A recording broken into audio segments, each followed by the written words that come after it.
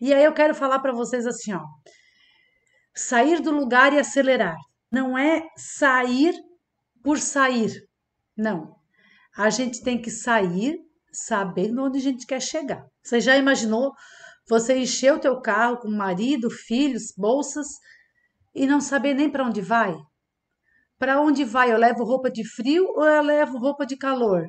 Eu vou ficar três dias ou eu vou ficar dez? Eu levo roupa para três dias ou eu levo roupa para dez? Não. A gente precisa sair, mas sabendo onde a gente quer chegar, porque isso torna a nossa viagem mais segura, mais confiante, com menos imprevistos, com menos intempéries, com muita coisa mais leve, né? Então, assim, ó, não é sair por sair, não, é sair sabendo que a gente quer chegar num faturamento de 3 mil.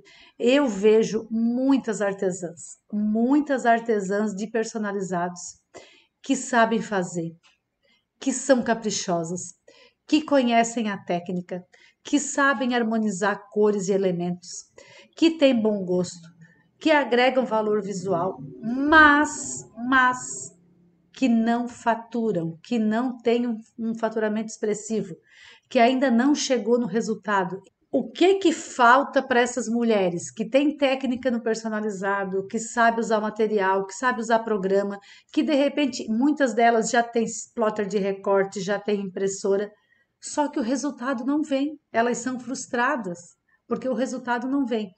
E o que é que falta? Falta um método para chegar até lá.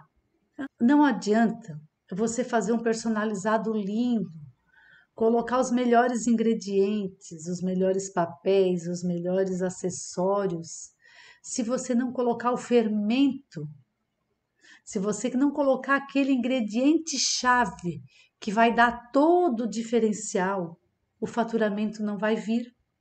Ângela, qual é o ingrediente chave que eu tenho que colocar em cima do meu personalizado? São as técnicas de venda.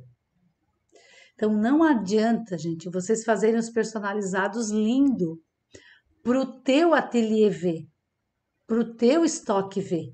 Não, a gente já faz os personalizados lindo. Agora a gente precisa fazer eles irem para a rua, eles serem vistos. Essa é a técnica, esse é o negócio.